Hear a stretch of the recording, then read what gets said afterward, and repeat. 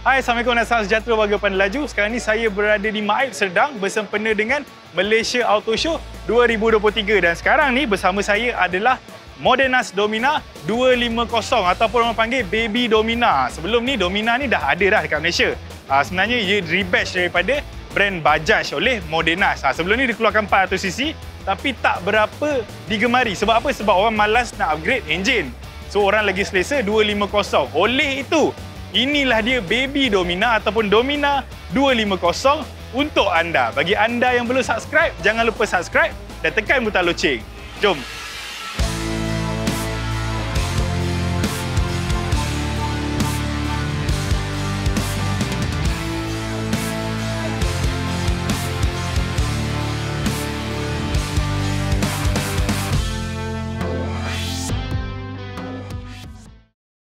Okey, apa yang menariknya tentang Modenas Domina 250 ni adalah selain daripada enjin yang kecil, ha, dia lebih murah of course, tapi dia punya komponen, dia punya design memang sama saja seperti Modenas Domina 400cc. Ha, menarik kan? Yang beza dia cuma enjin saja. Bila enjin lebih kecil, dia lebih ringan. Ha, sekarang berat motor ni cuma 180 kilo saja. Kalau kita tengok design depan dia, ha, kita boleh nampak dia ada visor hitam, lampu mozaik LED eh. Ha, memang cantik. Tapi memang sama macam 400cc lah. Ha, kalau kita tengok kat sini, dia ada USD fork. Ha, yang ini saiz 37mm dengan 135mm travel. Ha, untuk tayar pula, tayar depan dia bersaiz 100/80. Ha, rim dia bersaiz 17 inci. Untuk sistem brake pula bawah ni, dia pakai Bi-Brake 2 point. Ha, yang ini cik memang okey lah, Bi-Brake. Bi-Brembo ke kan? Ha, Lepas tu dia bagi disc ada ABS juga, dual channel depan belakang. Ha, untuk disc depan, saiz dia 300mm. Menarik kan? Ha, jom kita tengok kat sini pula. Okey, untuk bahagian tank dia anda dapat lihat berwarna kuning, ada stripe dengan nama kan. Okey, dia sebenarnya ada tiga color. Ada kuning, ada merah dan juga warna hitam. Sekarang ni kita review warna kuning. Nampak? Dia ada crash bar lagi kat tepi ni. Ha, memang cantik. Tank dia berkapasiti 13 liter. Ha, memang cukup-cukup lah bagi saya itu dah okey dah untuk sebuah motor 250cc.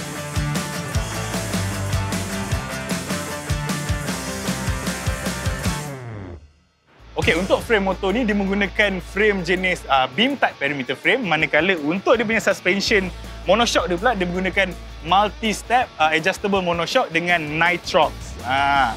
Jom kita tengok bahagian tepi dia, dia nampak dia ada dia punya logo D250, Domina 250 dan bahagian ni dia ada ala-ala tanduk. Ha, memang cantik. Lampu belakang dia LED sama seperti 400cc punya. Jom kita tengok bahagian sini.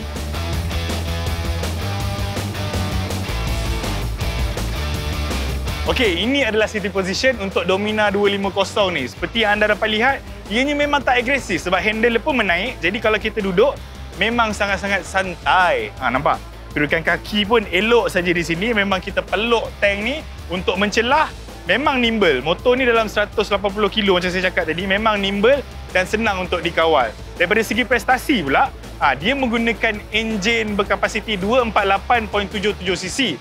Enjin tu pula menghasilkan dalam sekitar 26.6 PS pada uh, 8,500 RPM manakala torque dia pula dikeluarkan sekitar 23.5 Nm torque pada 6,500 RPM. Maknanya peak torque dia tu dekat 6,500 RPM pun dah boleh dapat. Maknanya anda dapat uh, torque tu memang optimum lah. Selain itu, enjin dia juga dipadankan dengan transmisi 6 kelajuan manual dengan assist and slipper clutch untuk transmission yang lebih smooth. Okey, daripada segi seat dia pun, seat dia tidaklah terlalu keras dan tidaklah terlalu lembut. Bagi saya okey sajalah. Ha, sebab ialah motor macam ni kan kita tak boleh nak expect yang terlalu uh, terlalu tinggi expectation kenalah dengan harga dia kan. Okey, kalau anda dapat lihat dekat atas tank ni dia ada satu lagi panel kecil di mana dia menunjukkan uh, ABS, side stand kita, bateri dengan temperature engine sangat-sangat berguna instead of dia masukkan pada dia punya meter, panel meter atas ni dia asingkan dan saya sangat-sangat suka benda tu. Ha, itu macam plus daripada segi design lah. Tapi memang saya suka. Uh, kalau daripada segi design, uh, macam mungkin anda tak perasan kan. Uh, yang ini dia ada dua exhaust. Okay? Sama juga macam 400cc punya. Dan apa yang saya suka dengan dua tip exhaust macam ni adalah selain daripada bunyi dia yang lebih sedap, uh, dia punya rupa pun lebih estetik. Tak percaya tengok sendiri. Style kan? Jom kita dengar sikit bunyi dia.